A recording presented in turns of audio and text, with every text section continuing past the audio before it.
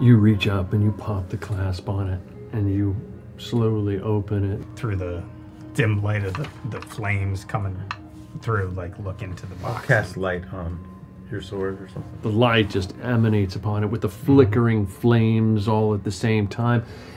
You look inside and, and you see that the chest is lined with a, with a fine velvet purple fabric. Mm-hmm. And then along the edges of it is trimmed with gold. And inside, in a slot in the center of it, is a rather crude, plain wooden object. It's probably about a foot long, maybe two inches around at one end. Crude piece of wood.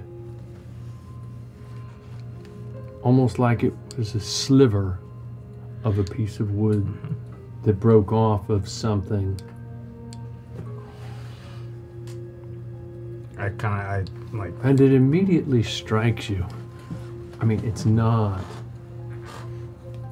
But it immediately strikes you that it almost looks like a stake.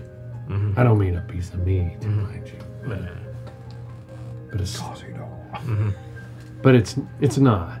Yeah. It's clearly a piece of wood broken from something. That's it. Start the techno Viking music.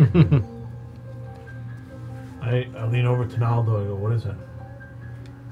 I just Because I don't understand any of this stuff. fall to my knees, and Naldo knows what this is, and I don't think he's really shared it too much with anybody else since he got the information.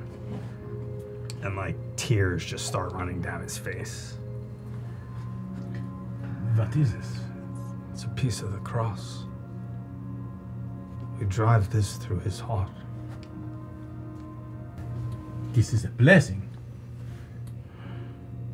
See, there is always hope, even in the darkness.